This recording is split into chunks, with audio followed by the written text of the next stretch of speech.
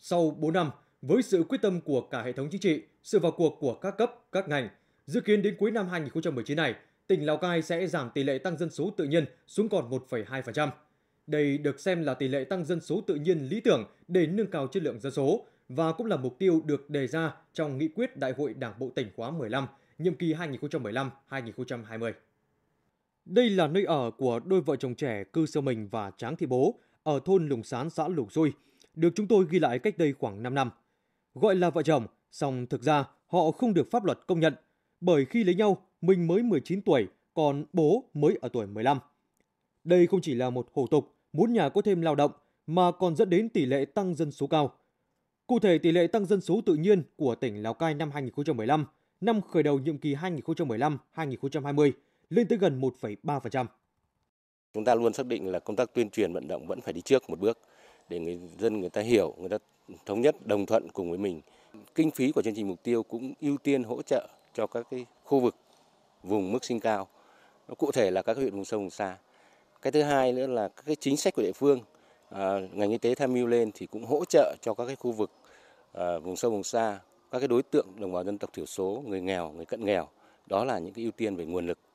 À, cái thứ ba nữa là à, về đội ngũ cán bộ thì đối với Lào Cai chúng ta cũng rất ưu tiên À, đảm bảo tất cả các xã đều có viên chức làm công tác dân số hưởng lương từ nhà nước. Đó là một cái sự cố gắng.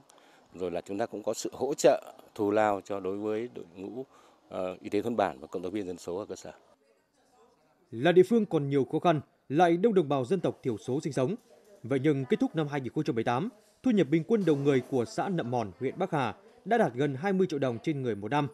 Hiện tại, xã cũng đã đạt 12 tiêu chí trong chương trình Mục tiêu Quốc gia xây dựng nông thôn mới. Kết quả này có được, có phần đóng góp quan trọng từ những giải pháp quyết liệt trong công tác kế hoạch hóa gia đình của địa phương.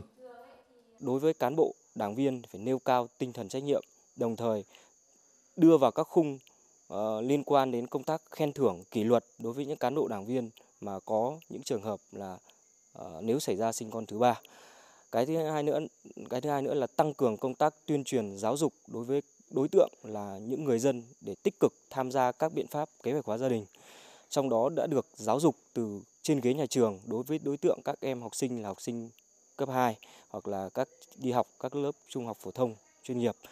Cái nữa đó là đã được cụ thể hóa vào trong các hương ước quy ước của làng bản, trong đó quy định rõ về cái mức mà cộng đồng xử phạt cũng như là à, là giáo dục tại cộng đồng về các trường hợp là sinh con thứ ba sinh con ngoài ý muốn hoặc là không biện không áp dụng các biện pháp phòng tránh tránh thai hoặc là các biện pháp kế hoạch hóa gia đình. Trở lại xã Lùng Xui, sau 5 năm, vùng đất này đã có nhiều thay đổi. Đặc biệt cơ sở hạ tầng được quan tâm đầu tư, trong đó có hệ thống trường học. Do vậy, tỷ lệ học sinh nữ ra lớp là khá cao. Giáo dục giới tính, tư vấn sức khỏe sinh sản, luật hôn nhân và gia đình và nhiều kiến thức khác liên quan đến thực hiện kế hoạch hóa gia đình đã thường xuyên được nhà trường đưa vào giảng dạy. Hiện nay thì cái tình trạng học sinh nữ đi học thì ờ, tương đối là đảm bảo. Khi mà các em tới trường, các em được ờ, nhà trường ờ, tuyên truyền về cái nạn tảo hôn, các em cũng đã nhận thức, có một cái nhận thức ừ, đúng đắn hơn thì các em cũng đã về tuyên truyền tới bố mẹ rồi các anh chị người dân ở nơi mình sinh sống và từ đấy thì người dân cũng đã có những cái nhận thức ừ, tốt hơn, đã giảm hẳn cái tình trạng à, tảo hôn.